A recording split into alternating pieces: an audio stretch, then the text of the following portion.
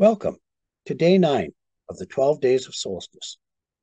To answer the question, which way, the answer is face the front. Here's what we mean.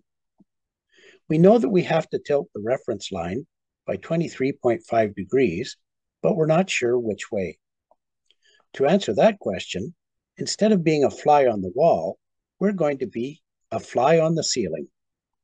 We're going to be a fly on the ceiling while we watch a science teacher walk around the classroom holding a globe. So if you walk around the room with the South Pole next to your body and the North Pole facing away from you, you'll end up in a constant state of equinox. Try this instead.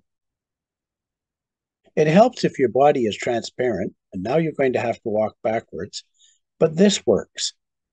This is the way to do it.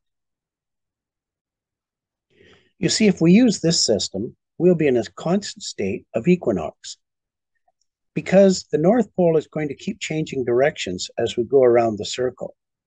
Instead, we should hold the North Pole facing the front of the room. Now, it doesn't have to be the front. It could be either side or the back or anywhere else, as long as the North Pole always faces the same direction. I think we're getting a little bit of insight into how the solstice works just from this much. Well, it's time for recap.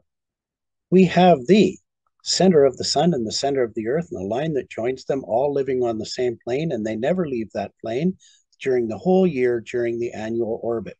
So then we drew a line that passed through the center of the earth perpendicular to the plane. We have to tilt that line by 23.5 degrees, but we weren't sure in what direction. And now, by using this system, we're there. You just have to keep the North Pole always facing in the same direction.